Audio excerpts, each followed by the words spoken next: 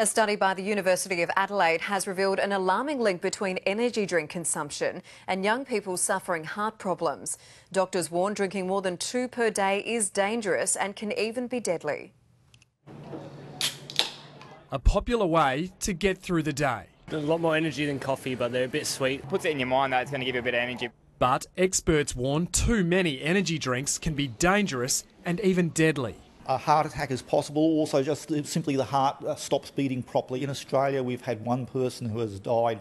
A study by the University of Adelaide shows many young people either don't know or ignore the risks. More than a third of patients between 13 and 40 years of age presenting to an emergency department with heart problems had consumed an energy drink in the 24 hours prior.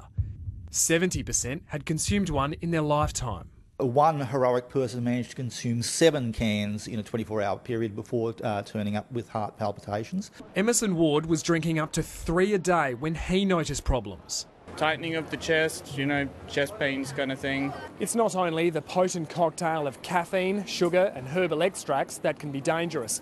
Experts warn the effects can be much worse when mixed with alcohol.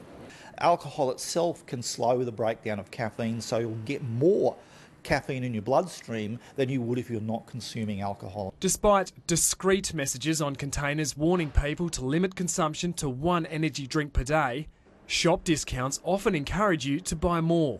You find most people uh, don't really read labels very well, so we could look at better ways to make the labels uh, more visible. Eddie Godfrey, Nine News.